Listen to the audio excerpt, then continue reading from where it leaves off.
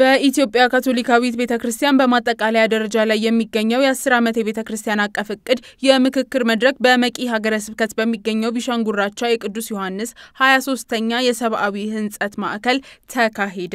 የኢትዮጵያ ካቶሊካዊት ቤተ ክርስቲያን ላለፉት በርካታ ወራት በዝግጅት ላይ የነበረውን የአስር ዓመት የቤተ ክርስቲያን አቀፍ እቅድ በጳጳሳት ከጸደቀ በኋላ በየሀገረ ስብከቶች በመገኘት የባለቤትነትና የግንዛቤ መፍጠሪያ መርሃ ግብር ተካሄደ። በመድረኩ ከአስር ሀገረ ስብከት የተውጣጡ ተሳታፊዎች የተገኙ ሲሆን የጳጳሳት እንደራሴዎች፣ የሐዋርያዊ ስራ አስተባባሪዎች፣ የልማት ስራ ኃላፊዎች፣ የካህናትና ገዳማውያን ተወካዮች፣ የትምህርትና ጤና ክፍል አስተባባሪዎች፣ የአስተዳደር የሰው ኃይልና የፋይናንስ ስራ አስተባባሪዎች እንዲሁም የሀገር አቀፍ የእቅዱ አስተባባሪ ኮሚቴዎች ተገኝተዋል።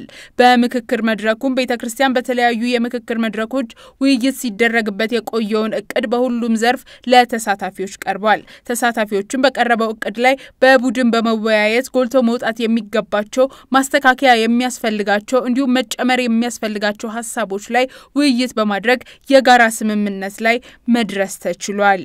ይህ የአስር ዓመት የቤተ ክርስቲያን እቅድ የኢትዮጵያ ካቶሊካዊት ቤተ ክርስቲያንን በጋራ ለጋራ የቤተ ክርስቲያን ራዕይና ተልዕኮ እንድታቅድ የሚያስችልና የቤተ ክርስቲያንንም አቅም የሚያጎላ እንደሆነ የተገለጸ ሲሆን ይህንንም ተግባራዊ ለማድረግ በየደረጃው የሚገኙ የቤተ ክርስቲያን አካላትን ጨምሮ ከጸሎት ጀምሮ ያላቸውን አቅም ሁሉ በመጠቀም እንዲተባበሩ ጥሪ ቀርቧል። ይህ የምክክር መድረክ በቀጣይ ሌሎች ሀገረ ስብከቶች ላይ የሚቀጥል ሲሆን እስካሁን ባደረገው የምክክር መድረኮች በጠቅላይ ጽሕፈት ቤት፣ በአዲስ አበባ ሀገረ ስብከት፣ በሐረር ሀገረ ስብከት፣ በገዳማት ዓመታዊ ጉባኤ ለተለያዩ የምእምናንና የወጣት ማህበራት ተወካዮች ቀርቦ ውይይት ተደርጎበታል።